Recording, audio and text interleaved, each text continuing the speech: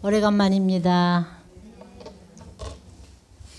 우리 남자분들 계시네요. 어, 한 달? 한 달 벌써 세월이 참 빠르죠. 10월 달에 뵙고 11월 셋째죠. 어, 그동안 참 2016년 한 해가 굉장히 빠르게 가는 것 같아요. 2016년은 유심히 초고속으로 달린다는 것이 느껴져요? 야, 여러분도 느껴지면 어, 천일국 시대가 그렇게 빨리 오고 있다 그렇게 느끼시면 돼요. 그리고 어, 급변한다, 어, 급변하고 있다 한다는 얘기는 어, 아버님의 말씀에 의하면 아버님 이렇게 세상이 섭리가 굉장히 요동치고 있는데 왜 이렇게 세상이 시끄럽습니까? 어, 그러면은 아버님 말씀이 예전에 한국이 막 시끄러울 때도 어, 가만히 두면 우리도 어, 축복 가정들도 부자로 천일국이 이루어지기 전에 천일국이 이루어져서 부자로 행복하게 살으면 괜찮아요. 그러면은 이탈되지 않고 원리적인 길로 가요. 원리적인 길은 참 사랑을 중심하고 우리가 세계 그러니까 세계는 빼놓더라도 평화 통일 가정이에요. 평화 통일의 가정의 기반으로 행복하게 살으면 문제가 없어요. 근데 어, 사람이 생명체가 되는 게 우리의 소망이잖아요. 이제 생명체급 생 응? 그러니까 어, 영영체, 생명체, 생령체 구분이 좀 잘 안 되지만 그래서 영영체가 되면 이제 형체가 갖춰진다 그렇게 보시면 되죠. 그러고 이제 생명체가 됐다. 그러면 믿죠. 그러니까 아기들을 보면 여러분들이 태어나서 엄마의 전 냄새나 엄마의 냄새를 알아요. 엄마 뱃속에서 자랐던 그 주고받았던 거에 의해서 말을 하지 않고 보지 못해도 엄마를 알거든요. 그와 똑같은 것이 영형체예요. 영형체는 진짜 사람이 그 형체가 구성이 돼도 부모가 누군지를 알아요. 근데 우리는 타락함으로 말미암아 우리 태초의 조상이 영형체도 못 이루게 했어요. 영형체도 못 이루게 했기 때문에 부모가 누군지를 몰랐어요. 그걸 어떻게 할 수 있느냐? 세상에 보면은 어떻게 자기 낳은 부모를 때린다거나 흉기를 찔러 죽인다거나 10여 년 전에 압구정동의 유학파의 대학 교수, 유학까지 갔다 온 교수가 돈 안 준다고 아버지를 죽였어요. 그러고 빈소에서 상주 노릇을 잘했어요. 근데 범인을 잡고 보니 그게 아들이었어요. 그거는 그 사람의 직이나 어 그러니까 뭐냐면 속 사람 영영체급도 되지 않은 데다가 외적인 사회 지식만을 갖추고 교수가 된 거예요. 그러다 보니까 인격자 인격자는 정지 의를 갖춘 사람이 인격자잖아요. 근데 정 느끼고 알고 의롭게 행동해야 되는데 느끼는 감을 알지 못하는 가운데 공부를 한 거예요. 그러니까 이지적인 거는 좋았는데 그 느낌이 없으니까 여러분들 사람이 동물하고 다른 것은 정의예요. 느낌이 있기 때문에 동물하고 다른 거예요. 그래서 사람은 천륜의 그 위계 질서가 있어요. 부모의 자리가 있고 부부의 자리가 있고 자녀의 자리가 있어요. 자기 위, 자기가 서야 할 자리를 아는 거. 그런 격의를 갖춰서 살아야 사고가 없어요.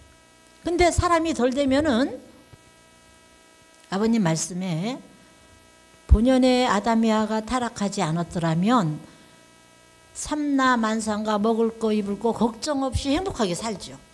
근데 타락함으로 말미암아 물질보다 못한 데 떨어졌으니까 물질 가지고 싸우고 그러니까 물질을 통과해서 사람을 만나야 되거든요. 사람도 볼 줄 몰라요. 그렇게 해서 싸우는 거예요. 그러니까 그런 격의를 안 갖췄기 때문에 그런 사람에게 재력과 환경을 줘버리잖아요. 그러면은 사심적인 동물적인 거죠. 영인체가 동물과 사람의 차이가 영인체가 없다는 거잖아요. 동물적인 욕망. 배가 부르면 가만히 있으면 다행인데 배가 부르니까 쓸데없는 생각을 하는 거예요.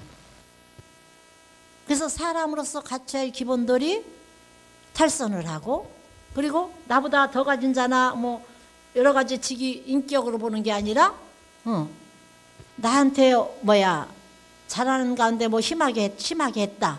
그러면 원한 갚을 생각이 나고 그러니까 세상이 시끄러운 거예요. 그래서 축복 가정에게 재운이 없다. 그래서 사람의 격의를 밟아간 다음에 재운의 축복이 오는 게 맞는 거예요. 근데 그렇게 안 돼 있기 때문에 지금 시끄러운 거죠. 그러면 이제 그 질서를 바로 세우기 위해서 시끄럽다 보시면 돼요. 그래 아버님이 아버님 끝날이 언제입니까? 선배님들이 맨날 물었어요. 36과 정도. 끝날이 언제예요? 그러니까 아버님께서 복귀 섭리 역사는 인류 역사잖아요. 인류 역사는 복귀 섭리 역사예요. 그 얘기는 인류가 가는데 역사를 뒤 위에서 하나님이 조정해서 본연의 아들 딸이 나타나는 복귀해 오고 있는 과정이잖아요. 그러니까 나한테 묻지 말고 신문을 봐라. 아버님의 정답이에요. 신문을 보면 복귀 섭리 역사가 어디쯤 가고 있다는 걸 안다는 거예요. 그러니까 여러분들이 원리 공부를 하면 사회 돌아가는 걸 보면 야 진짜 때가 됐구나. 우리가 어떻게 살아야겠구나. 그런 결심할 수 있는 교과서예요. 참, 아, 섭리가 이렇게, 어? 어, 부모도 쳐? 있을 수 없는 얘기예요. 어?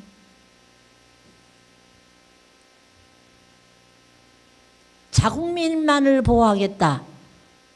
개인주의의 극치점을 달하는 트럼프가 돼버렸어요. 본인은 그렇게 외쳤고 돈을 벌어봤죠. 세계 갚으죠. 그렇지만 막상 대통령이 되면 바뀌어요. 지금 참모진부터 바뀌잖아요. 어? 우리나라에서 한미 비핵화죠. 우리는 핵이 없죠. 우리 한반도에서는 핵이 있어서 안 되죠. 적은 나라니까. 비핵화에 사드나 어, 미국의 최신 무기가 와서 있기 때문에 그거는 미사일이 뜨는 동시에 공중에서 그쪽으로 폭파해 버리거든요. 그러니까 장난을 못 하죠. 그래서 사드를 들고 오잖아요. 그런 상황이 되니까 어, 뭐 자국민 철수하겠다. 트럼프가 막상 그랬지만 미국은 미국만을 위해서 존재하게 하나님 만들었 나라가 아니에요. 그렇게 갑자기 200년 역사에 이렇게 부자를 만들었잖아요. 맏형으로 아버님 말씀에 보면 큰아들로서 세계 평화를 위해서 살라고 이렇게 경제 축복도 하신 거거든요. 근데 막상 대통령이 트럼프가 되니까 참모진 구성되면서 한미 동맹은 영원하다 나오잖아요. 유세할 때하고 바뀌었어요. 필리핀도 대통령 아주 급진적인 사람이 됐잖아요. 그래도 바뀌잖아요. 그래도 뭐 사형수는 많이 생기긴 하지만 그래서 세계가 급변하는 걸 정세를 보면은 섭리가 어디쯤 가고 있는가. 어머님이 왜 2020 그렇게 안타깝게 마음을 조이면서 2020 하시는가? 왜 목회 협회장이나 목회자들이 어? 그러면 여러분들 마음속에 자녀들과 여러분들 가정에서 2020 하면서 떨리고 설, 떨리고 설레고 어? 급하고 그런 마음이 공감돼야 돼요. 이제 16년 얼마 안 남았어요. 빨리 갔다고 그랬죠? 왜 그렇게 빨리 가요? 아버님이 아버님 말씀에 의하면 태초의 아담 해와는요 970살, 930살 이상 살았어요. 하나님이 창조했을 때는 그러고 세계가 언어가 하나였어요. 에덴 동산은 근데 함이 자기 아버지 벌거벗은 걸 몰고 섭리를 완성하는 데 가서 뒤집어 씌우면서 형제들끼리 막 형 와봐 형 와봐 그래가지고 죄를 번식하니까 바벨탑을 쌓았어요 하나님이 야 이놈들 소통을 시키니까 어? 죄를 더 많이 번식하는구나. 그래서 국경이 나왔어요. 국경을 해서 언어가 소통되지 않으면 죄의 번식이 줄어드니까. 그래서 국경이 만들어서 내려왔어요. 근데 지금은 복귀 섭리가 진전되면서 나라와 나라를 오고 간다 생각도 못했어요. 여러분들이 에베리스산 얼마 전에 내가 그 어, 뭐야 어, 네팔 네팔 상공 비행기를 타고 날르니까 그 산 꼭대기에 집들이 있어요.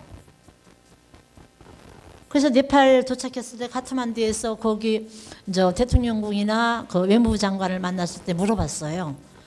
그 산 꼭대기 에베레스트 정상에 그 집들이 있던데 눈이 오고 뭐하고 그 산 꼭대기에서 밑에까지 내려왔다 가려면 빨리 걸어서 다녀도 한 달 이상 걸릴 거 아니에요? 얼마나 높은 정상인데 외무장관이고 저 사람들이 지상에 내려왔다 가느냐 그러니까 그 중에 좀 날, 그래도 후손 중에서 잘났다고 하는 사람이 1년에 한 번 왔다 가는 사람이 있대요. 그러면 문화가 소통이 되겠어요? 안 돼요. 안 되죠. 그럼 어떻게 저렇게 살고 있느냐? 몇 대를 두고 거기서 산대요. 우리도 인구 파악이 다 안 됩니다.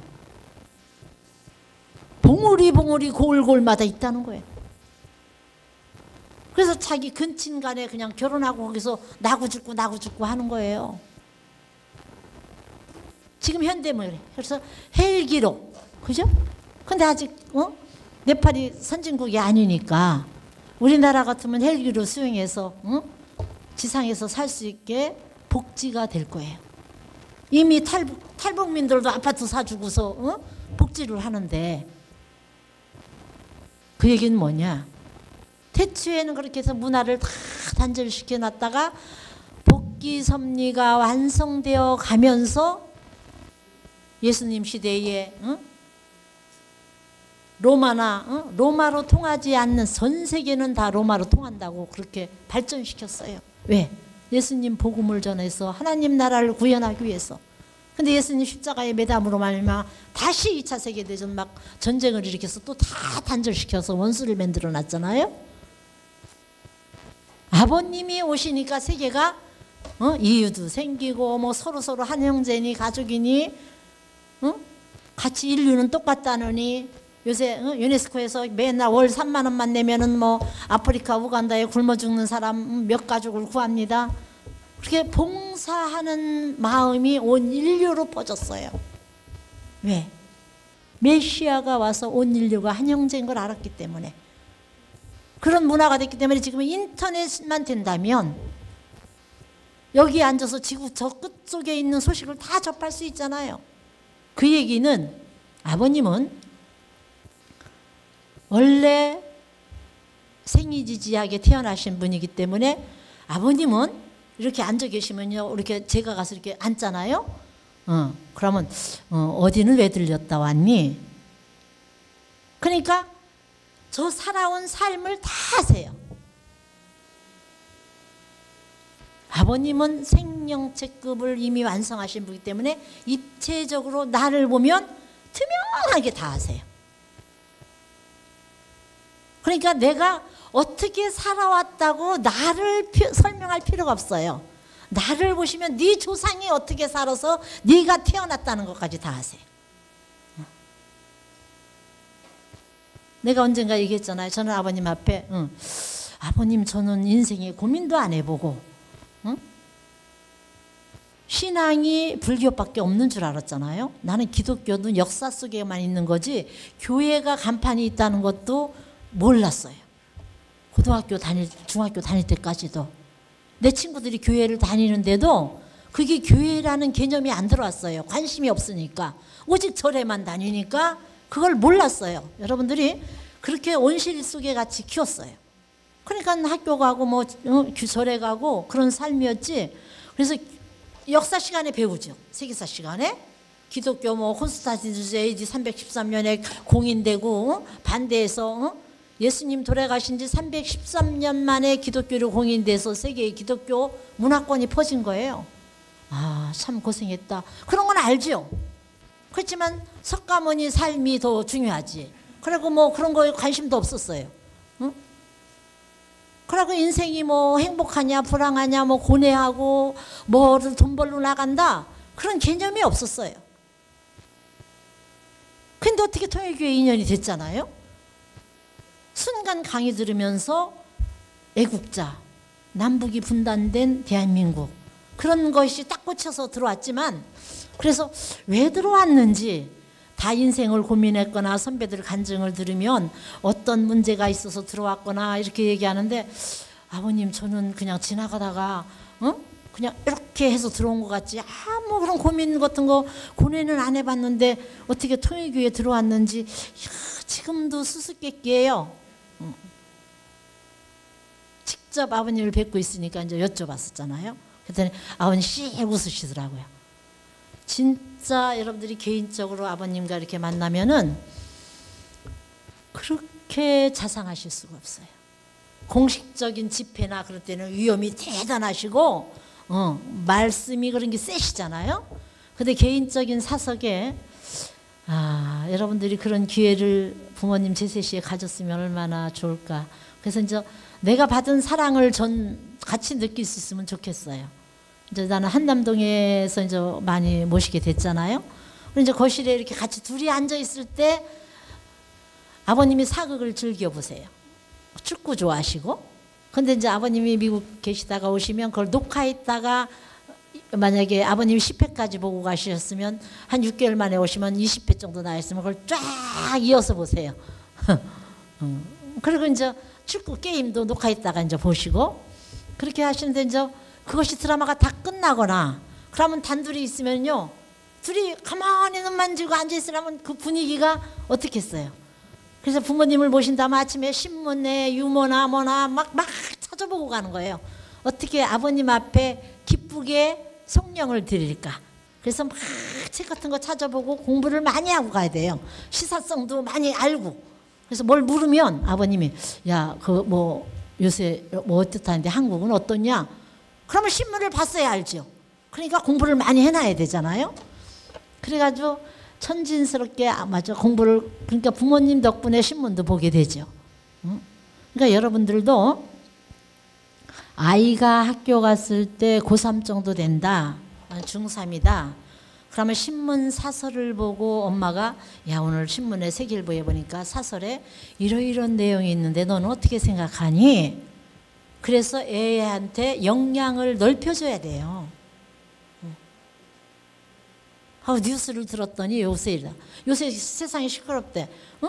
야, 그 박근혜 하야 해야 돼. 어, 그때 대통령이 그랬다냐? 암암리에 물이 젖는 거예요. 진짜 역사관을 가지고 여러분들이 자녀를 남편을 안내할 줄 알아야죠. 무지에는 완성이 없어요. 알아야 뭘 해도 설명할 수 있잖아요. 그러니까 공부를 하고 가는 거예요. 그러면 아버님은 이제 살살 물으세요. 근데 너무 감사한 게 내가 읽고 온 내용을 알고 물어주세요. 참 신기하죠. 그걸 나중에 알았어요. 아버님이 입체적으로 내가 어떻게 노력하고 오는 것을 아시는군 아버님. 그러니까 저놈이 저걸 읽고 왔다는 걸 아시는 거예요. 그럼 그런 걸 꼭 물으세요. 그러면 신나서 설명을 하죠. 공부하고 왔으니까. 어. 그러면 아버님은요. 내가 신난 것보다 플러스 알파로 신나게 들으세요. 여러분들 말씀을 그렇게 신나게 자녀 앞에 내가 공부한 것보다 더 기쁘게 들어줄 수 있는 엄마, 아빠 그 모습으로 갖춘다는 게 쉬운 게 아니에요. 그러니까 엄마 뭐 학교에서 즐거워 신나는 얘기 보고 하려니까 됐어 됐어 엄마 바빠 바빠 이라고 무시하는 일은 없어요. 회사에서 남편이 돌아와가지고 야 오늘 회사에서 뭐가 있었어? 그러면 회사 일은 회사 일을 군다는 게죠 여긴 가정이에요 가정. 이건 기분을 막 상하게 해놓잖아요. 아버님은 내가 공부할 때 그 땀을 흘리는 그 대가까지 충분하게 잘했구나 하게끔 신나서 들으세요. 그렇지 그래 그래 하시면서 장단을 맞추시면은요 시간 가는 줄도 몰라요 얼마나 재밌게 들어주신지 몰라요.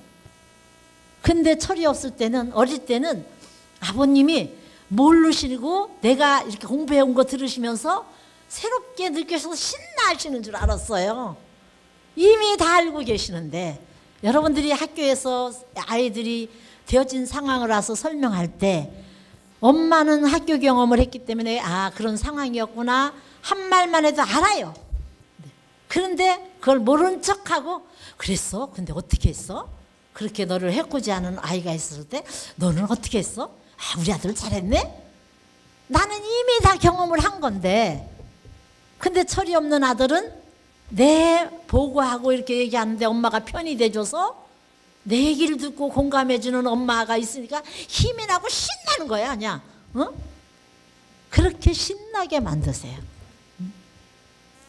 그래서 신나게 보고하죠 근데 딱 그 얘기를 하니까 알고 싶어? 그러시더라고요 왜 들어왔는지 몰라요 그랬어 알고 싶어? 궁금하지요. 알고 싶다기보다 궁금해요. 그러니까. 그러니까.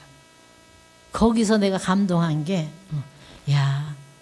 그래서 아버님이 칠 때마다 정산에서 후손을 만든다는 이야기가 실감이 났어요. 야, 너, 너 말고, 너를 말고 칠대조예요. 칠대조 할머니가 정성을 많이 들였지. 그래서 내가 그 말씀을 듣고 족보를 와서 찾아봤잖아요. 맞더라고요. 7대조면 그래서 인류 역사에 단절을 시켜서 죄를 번식하게 하지 않기 위해서 섭리를 빨리 단축시켜서 하나님 나라를 이루기 위해서 평균 수명을 줄인 거예요. 그래서 복귀 섭리가 과도기로 급진전할 때는요. 1대가 20년이었어요. 20년으로 줄였던 때도 있어요. 지금은 우리 어머니의 아버지들은 일대가 20년이었어요. 스무 살만 되기 전에 다 결혼했어요. 여러분들이 할머니 할아버지는 한국에. 근데 지금 결혼이 30대로 넘어졌죠. 지금 결혼 결혼 정년기가 여자가 31.5세, 남자가 33세예요. 그 얘기는 일대가 30년으로 늦춰졌다는 얘기예요. 그 얘기는 평균 수명이 길어졌다. 그러면 복귀 섭리가 많이 완성되어 가는구나. 복귀 섭리가 급하고 절명했을 때는요, 인간의 수명을 단축시켰어요. 한국에 60살 해갑 잔치를 크게 했어요. 60살까지 사시는 분이 별로 없으니까. 근데 지금 해갑 잔치 해요, 안 해요? 청년 나이로 봐. 그러면 누구 덕분에 그렇게 수명이 연장됐어요? 부모님으로 말미암아. 왜? 역사를 이끌어가는 선봉주자, 복귀 섭리로 인류 역사를 이끌어가는 하나님, 그 대역으로 부모님이 그 길을 닦고 계신 거예요. 참부모님 덕분에 그렇게 연장된 거예요. 그 연장됐다는 얘기는 섭리가 막바지에 와 있다는 거잖아요. 급할 때 섭리를 단축시켰어요. 근데 그렇게 평균 수명이 연장됐는데도 1년이 빨리 가. 똑같이 24시간은 똑같아요. 1년 365일은 똑같았는데 빨리 가게 느껴진다. 이번에 70, 80 되신 분도 옛날에 60보다 연기 안 가려고 그래요. 지상에서 더 완성돼야 되니까. 그러고 볼때 섭리적으로 부모님이 인류 역사를 얼마나 압축시키고 어? 늘려서 어? 가정 평화를 이루고 세계 평화를 이루기 위해서 수고하셨나 그것을 우리가 감지할 수 있어야 돼요. 그래서 여러분들이 지금 이제 11월이에요. 어, 음력으로는 10월이죠. 우리 철력으로는 10월인데 그러면은 3, 어, 4, 4분기로 마지막 분기예요. 10월, 11월, 12월이 4, 4분기로 나눌 때 마지막 4분의 4 절기 어? 계절로 따지면 봄, 여름, 가을, 겨울 절기예요. 마지막 절기에 결실을 보고 결산을 해야 되는 절기가 4, 4분기예요. 10월, 11월, 12월. 그때는 그동안 봄, 여름, 가을 동안에 4, 3분기까지 내가 잘못 쌓은 거를 보충할 수도 있고 부족한 것을 떼어놓을 수도 있는 기회예요. 4, 4분기가. 우리 인생으로 볼 때 우리가 원래는 구약 시대 영영체급의 어, 신앙을 할 때는 구약 시대는 어, 아브라함 구약 시대죠. 그때는 선민권은요 할례를 받지 않으면요 예배당에 못 들어왔어요. 그죠? 구원받은 자, 할례 받은 자. 그래서 어 이삭 뭐야 리브가가 어 뭐야 그 양부꽃을 갈라서 할례를 함으로 말미암아 사탄의 침범을 막았잖아요. 그러니까 구약 시대는 할례 받은 자만이 역사를 타고 갔어요. 할례 받지 못한 사람은 사람이 아니에요. 여러분들이 누가 사람이에요? 하나님 아들 딸이 사람이지 구약 전의 사람은 사람이라고 안 해요. 복귀 섭리 역사에 여러분들이 아담 해와 어? 그러면은 노아, 아브라함, 이삭, 야곱 그 선택받은 사람들이 있는데 그때 노아 한 사람만 있었을 것 같아요? 아니면 아브라함 한 가정만 있었을 것 같아요? 지금 우리로 얘기하면 어? 사람은 우리 대한민국에도 4천만이 넘잖아요. 5천만을 바라보고 가는데 인구는 많죠. 축복 가정은 몇 가정입니까? 하늘이 바라보실 때 내 개인으로 보면 영영체급 영계 영인체를 출발한 사람이 사람이에요. 구약 시대에 할례 받은 자의 출발점에 쓴 사람이 영인체가 싹트기 시작해야 사람이잖아요. 여러분들 뱃속의 아기가 사람이에요, 아니에요? 예? 원리적으로 정리가 안 돼? 뱃속의 아기도 유산하면은 어, 회원은 하죠. 그렇지만 영인체가 있다 없다. 예. 아기가 나와서 응애하고 공기와 접할 때 영인체가 영인체의 모습 형체는 있지만 싹은 안 터 있어요. 그래 뱃속의 애는 유산시켰어도 영인체와는 관계가 없어요. 자연유산돼도 그래 영영체급의 영계는 공기를 맞아서 응애할 때 영인체가 영영체로 말씀화되어 있는 2세 3세 그 사람이 사람이에요. 그럼 요새 축복 가정이 사람이죠. 축복받지 않은 사람은 영인체가 있어요, 없어요? 있지만 새카만 하니까. 그래 여러분들이 길거리 가다가 밤중에 사모님은 여기 용산역에 밤에 산책 갔다 공원으로 돌아올 때 거기 고양이들도 돌아다니고 그래요. 근데 안 무서워요? 근데 이웃집에 사는 청년이 잠바 입고서 따라오면은요 소름이 끼쳐요. 언제부터? 사람이 따라오는데 왜 무서워요? 사람이 따라오면 공감이 되고 같은 연합체니까 더 반가워야지. 근데 지금은 사람은 사람인데 영인체를 제대로 갖추지 않으니까 무서운 거예요. 영영체로 출발이 돼서 생명체, 생영체가 돼야 되는데 영영체의 출발점을 안 가진 사람들은 동물적인 욕망과 동물적인 것 나에게 뭐 한다면 해코지를 하는 거예요. 동물과 똑같으죠. 동물은 건들지 않을 때는 가만히 있다가 사자 같은 것도 자기가 잘못하면 저 사람한테 죽겠구나 내 먹이를 빼앗기거나 하면 확 달려들죠.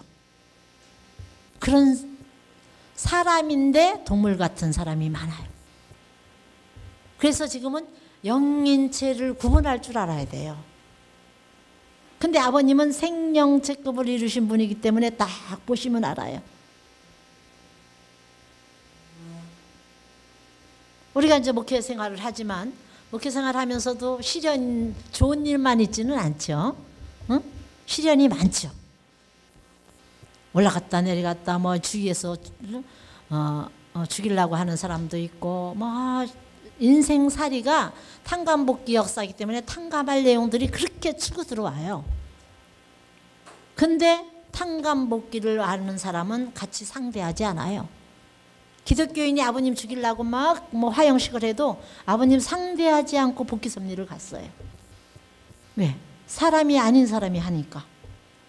상대할 수가 없죠. 사람 아닌 거하고 상대해야 내가 강아지하고 소리 지르고 싸워봐요. 내가 너 때문에 자존심이 얼마나 상했는 줄 알아? 이 강아지 새끼야! 그러고 아무리 술을 봐 걔가 깨갱깨갱 삐기 더해요? 예, 내가 말하는 것도 같이 깨갱거리는 거야. 그래서 지나가는 사람이 보면 은 뭐라 그럴까? 쟤 개하고 싸우고 있네? 똑같이 개야. 근데 지금 개끼리 사람인데 강아지 같이 싸우는 사람이 많잖아요? 근데 상대할 필요 있어요, 없어요? 개는 짖어라, 열차는 간다. 내 목표를 향해서 가는 거예요. 그 인생사에 그런 시련 없이 사람이 되는 사람이 없어요. 왜?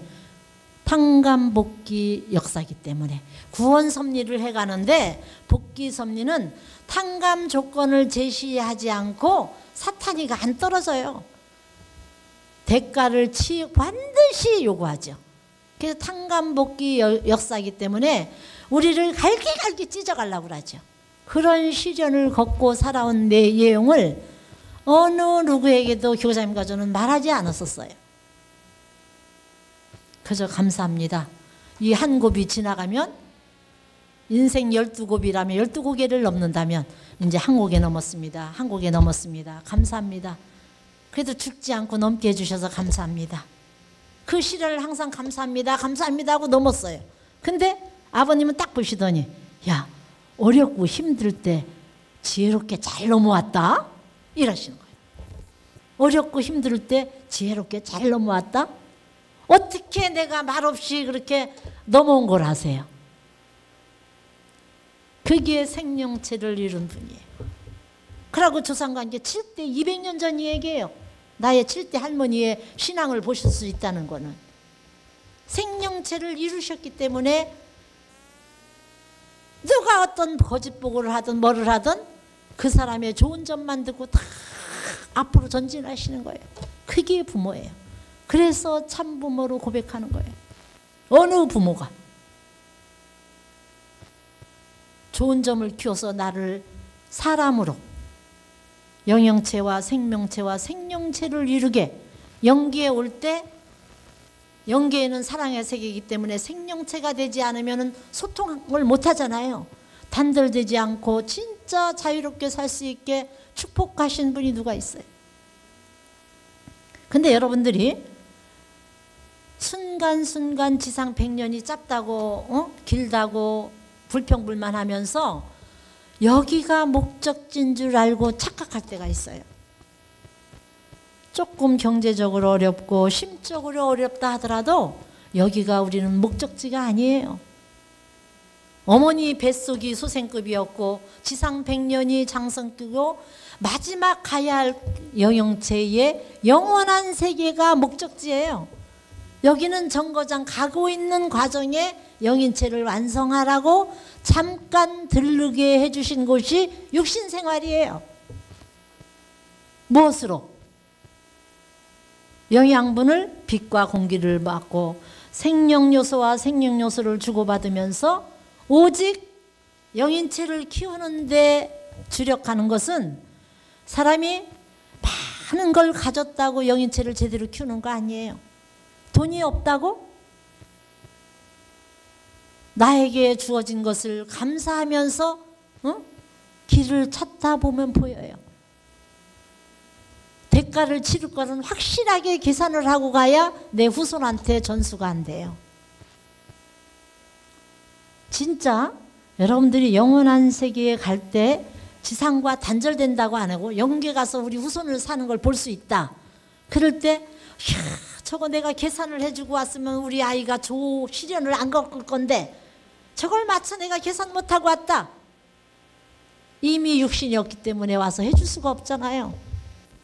그래서 내가 느낌이 오고 뭐 할 때 확실하게 계산하고 가는 거예요.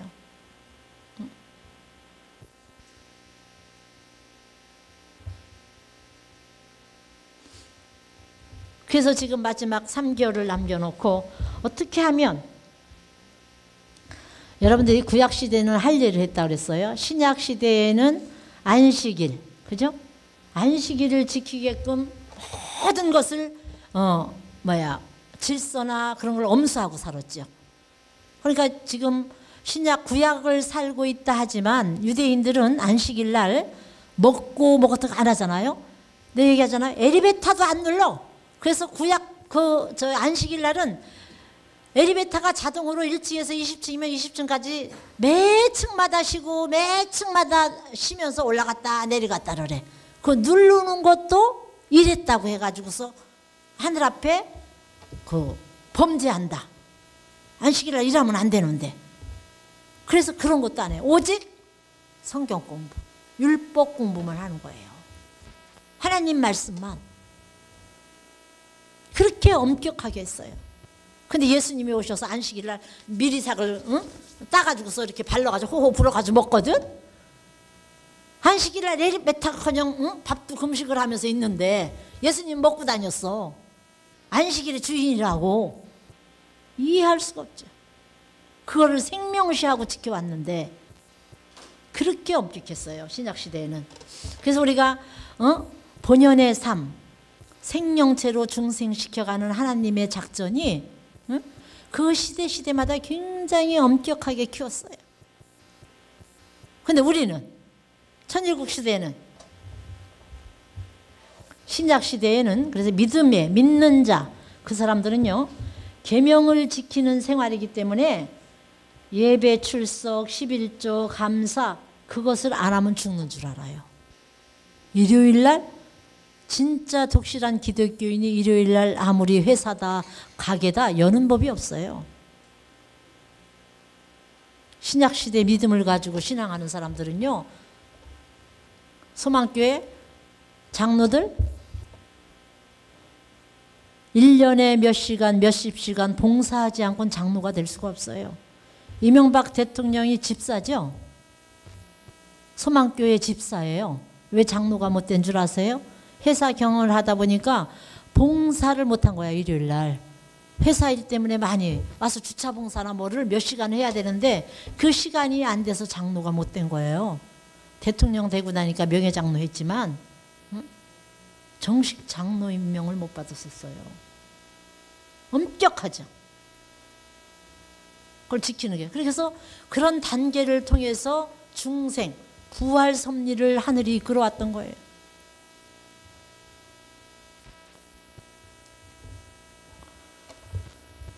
여러분들은 어? 그러면 그런 단계를 우리가 겪어서 왔느냐 이거예요.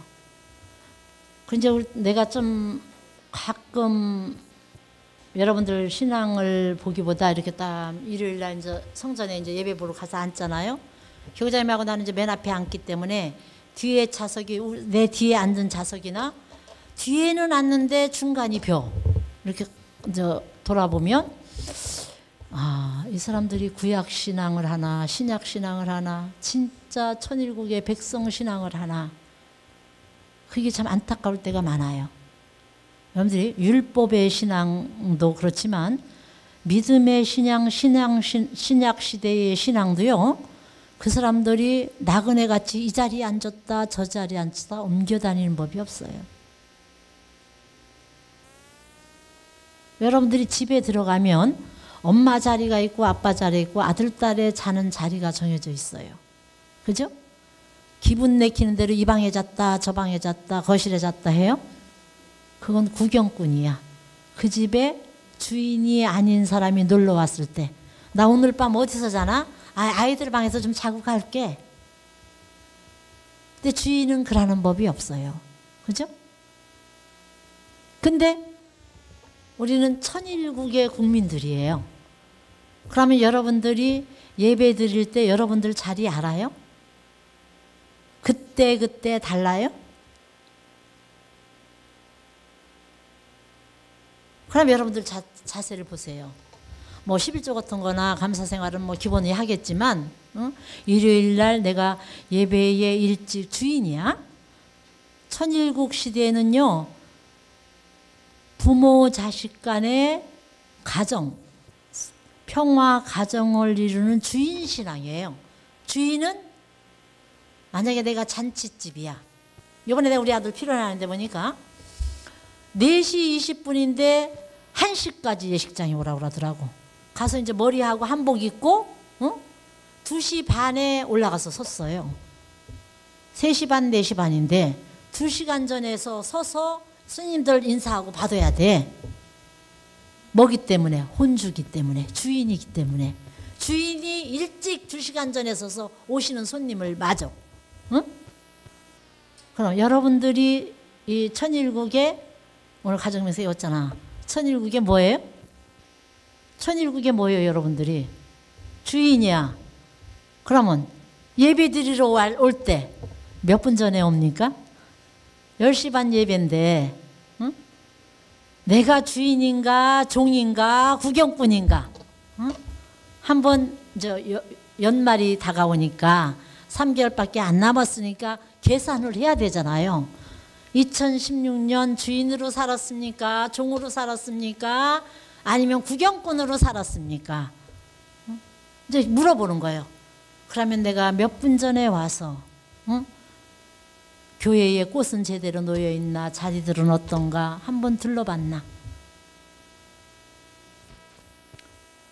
주인이면 난 미리 가서 그 필요연을 하는데도 예식장이었던가 폐백실이었던가 미리 다 돌아, 돌아보고 어떻게 옮겨야, 옮겨야 되고 사람들이 어디 앉나 축사자 협회장님 오시면 어디 앉고 축가자는 어디 앉나 그걸 다 미리 돌아보게 돼 있어요. 누가 돌아보세요 안 해도 어딘가 다 확인을 한 다음에 서서 어서 오세요 하게 되더라고. 그게 주인이에요. 그죠? 그럼 예배를 볼 때 여러분들의 삶이 그러고 주인은 정해진 자리가 있어요.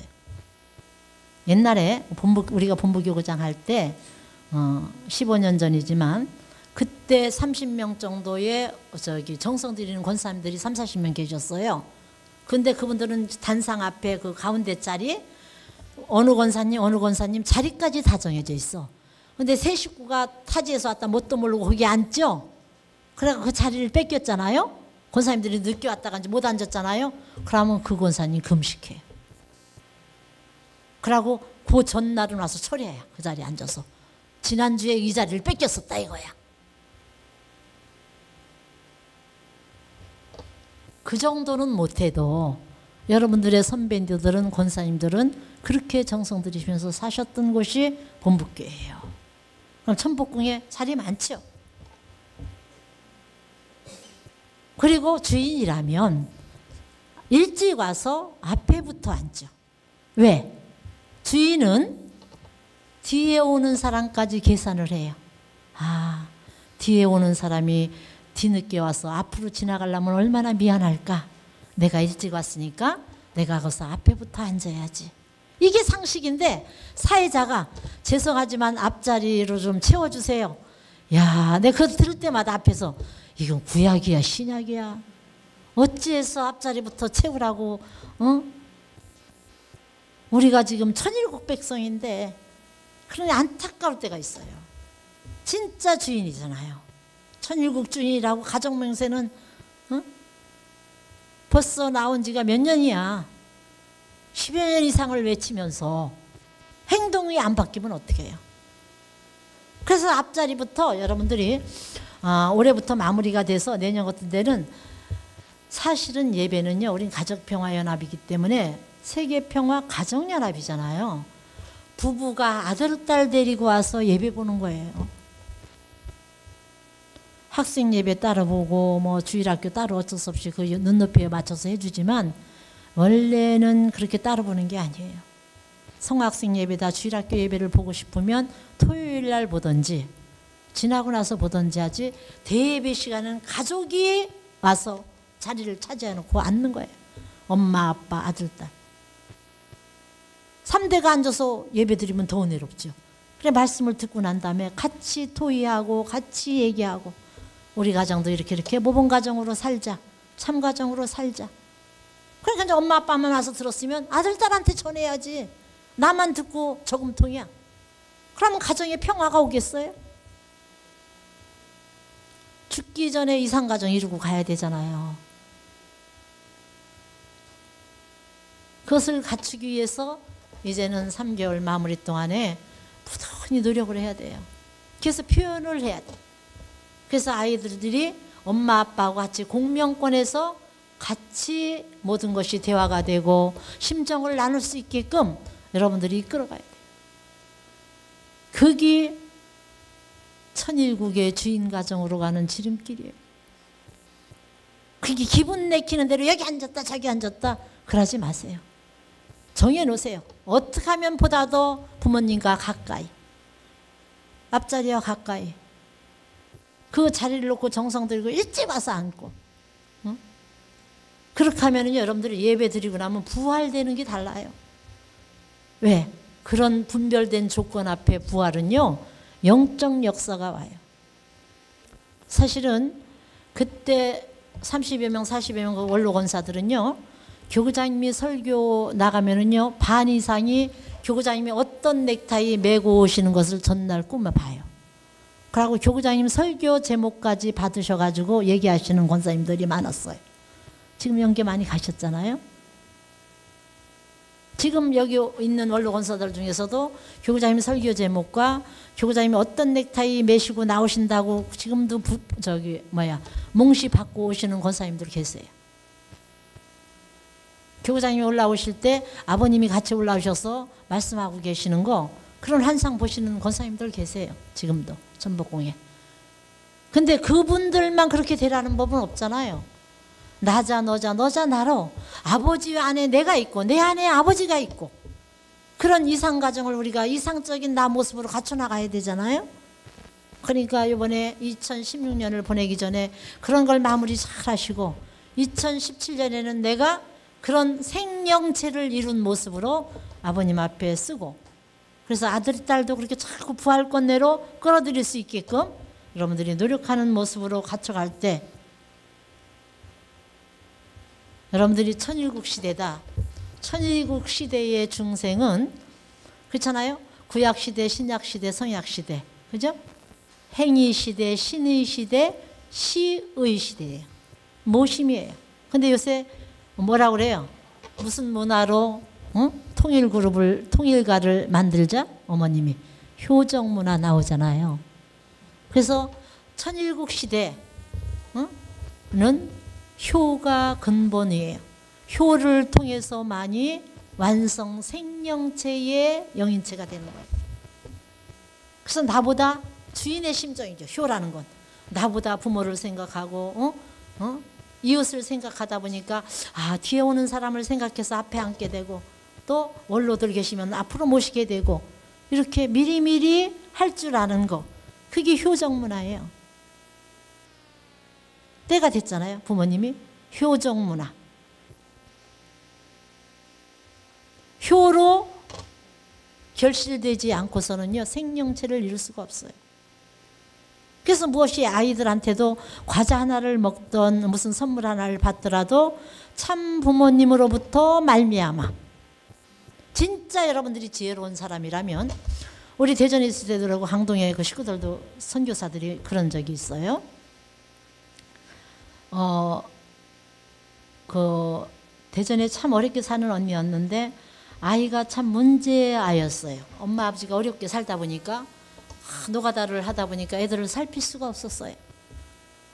근데 걔가 이렇게 저 사모님 말씀을 듣고 하루는 찾아왔어요. 걔가 좋아하는 게 축구공인 거야. 사내 아이인데 중학교 2학년. 근데 축구공을 사고 걔가 좋아하는 핸드폰 핸드폰을 안 사줄 수가 없다는 거예요. 사달라고 하니까. 근데 되게 고등학교, 대학교 가면 사주겠다 했는데 애가 막 너무 막 삐딱하게 나가니까 그랬더니 핸드폰하고 축구공을 사가지고 와서 이렇게 우리 아이가 문제하고 자기가 어, 원리적으로 못 살아서 그렇습니다. 교구장님 몇 월 며칠이 우리 아이 생일인데 어? 그때 이거를 가지고 신방을 와주세요. 목회자를 여러분들이 그렇게 부모라면 진짜 아들을 바로 잡을 수 있는 길. 응? 그래서 생일이래요. 그래서 이제 그래 그럼 그날 가겠다 했더니 와서 기도만 해주시고 와주시는 것 감사합니다. 그날 아침에 글쎄 K까지 교회 갖다 놓고 갔어요. 그거 가지고 신방 오시라고. 그 이제 신방을 그 엄마가 다 사다 놨지만 전혀 모르는 척하고 저녁에 갔죠. 가족들한테 얘기하는 거죠. 아무개야 하고 들어가니까 너 오늘 생일이지? 교장님이 이제 축의금도 줬지만 그래 이제 생일 축하를 하고 너 축구공 가지고 싶었지? 그러면서 주면서 핸드폰을 이렇게 이렇게 쓰는 거야. 그러면서 학교 할 때 쓰고 게임하는 게 아니고 그렇게 이렇게 해서 써라. 그래서 네 생각을 하다가 어? 교장님이 핸드폰을 산 거니까 진짜 잘 써야 된다. 그러니까 얘가 눈물을 흘리는 거예요. 그 망난이라는데. 응? 하면서 응, 잘 쓰겠습니다. 한 달에 얼마 핸드폰 요금 나오는 거 교장님이 다 알아. 내가 샀으니까. 그러니까 예 알겠습니다. 그렇게 바뀌고 그 다음에 두 번째 생일에도 그 엄마가 응? 제공을 해가지고 그렇게 그 바쁜데 어떻게 다 챙기겠어요 교사님이나 사모님이 근데 그렇게 해가지고 두 번을 했는데 지금 가장 모범생이에요 요번에 수능 보는데 걱정 없대 원하는 대학 충분히 갈 수 있고 중학교 2학년 때 그 삐딱하게 됐던 아이를 잡았어요 엄마 아빠가 하는 게 아니에요 엄마의 지혜로 어떤 심정? 효정의 심정으로 여러분들이 엄마가 사줬다. 엄마가 사주죠. 교구장님이나 목회자가 와서 이렇게 선물을 주고 갔다. 애 그릇과 마음가짐이 달라져요. 저는 목회자들을 많이 들고 있을 때 아버님 순회 오세요. 그러면 아버님한테 뭐래도 선물 받고 싶어 하는 사람이 많죠. 그거는 어릴 때 얘기예요. 부모를 진짜 모셔본다면 응? 부모님에게 용돈을 드리고 부모님 선물을 못 사드린 걸 가슴 아파해야지 뭐 주시고 가지 않나? 그건 아기 때잖아요. 나는 부모님 선물을 주시면 오히려 식구들에게 배로 축복해서 나눠줬죠.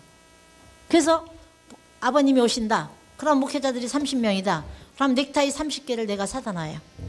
아버님, 우리 목회자가 30명이 있는데요. 아버님 이 넥타이를 30개 준비했습니다. 부모님 다녀가신 다음에 나눠주려고요. 그러면 아버님이 잘 준비했다. 그래, 내가 축도해 주지. 그래서 아버님이 주신 게 되는 거예요. 아세요? 그러면 목회자들이나 뭐나 교구장이 사준 것보다 아버님 주신 선물을 받고 아버님이 축도하셨으니까 얼마나 축복의 운세가 오겠어요. 여러분들이 지혜로운 삶, 천일국의 백성의 삶, 그거는 효를 어떻게 돌리느냐? 응? 목회자한테도 그렇게 정성껏 하고, 그래 자녀에게 이렇게 정성껏 돌아올 수 있게끔 안내를 하면요 아이들이 안 풀리는 게 없어요. 근데 내가 혼자 해결하고 비밀을 두니까, 그럼 만난 거 있으면 나만 먹고 부모를 생각해요? 효는 광고하는 게 아니에요. 보다 더 어? 해드리지 못해 안타까워하는 거죠. 최선을 다해서 내 역량으로 최선을 다해서 어? 부모에게 효하지 못한 것을 어? 불효한 것을 안타까워하는 거지 효해놓고 자랑한다 그건 효가 아니에요. 그건 종이에요 종. 구경꾼이에요. 아 이거 효도했으니까 인터넷에 올리게 사진 찍어주세요. 아버님 절대 그런 거 받지 않으세요. 그건 효의 근본으로 온 게 아니에요. 저 자랑하려고, 저 내세우려고 오는 거죠. 그런 선물은 풀러도 안 봐요. 진짜 효가 뭔가. 여러분의 선교사에 같은 길을 가고 있는 사람이지만 응? 자녀 교육에 문제가 있을 때 그렇게 고뇌해서 그런 길로 안내해서 지금 잡힌 아이들이 많아요. 그렇게 참 부모님의 아들 딸이고 어? 부모님으로 말미암아 2세 3세지 여러분의 아들 딸이 아니에요. 우리 자체도 참 부모님으로 말미암아 여러분들과 만났고 부모님의 영광을 위해서 효도하기 위해서 살아야 생명체를 이룰 수 있는 거예요. 그런 그렇게 되면은 영적 경험이나 영적 역사가 많죠. 그러면은 어? 모든 게 다 도와주게 되고 역사가 일어나죠. 내 머리로 계산하지 않아도 하늘이 계산을 하게 해줘요. 야, 아무개 어? 얼마를 갖다 줘라. 어, 나또 없는데? 그, 계산해서 해. 절대 연계, 연계 역사 없죠. 그래서 진짜 연계를 모시고 조상들이나 어? 어, 선조가 돕는 걸 느끼면서 경험하면서 살아야 생명체를 이루고 가야 기쁘잖아요. 그러면은 2020이 되기 전에 막 풀려나갈 거예요. 그렇게 역사를 풀려고 우리가 이 시점에 와 있는 거예요. 그런 준비를 하셔서 일요일을 준비하는 거나 어? 그 소리 하지 마세요. 3개월 남은 음?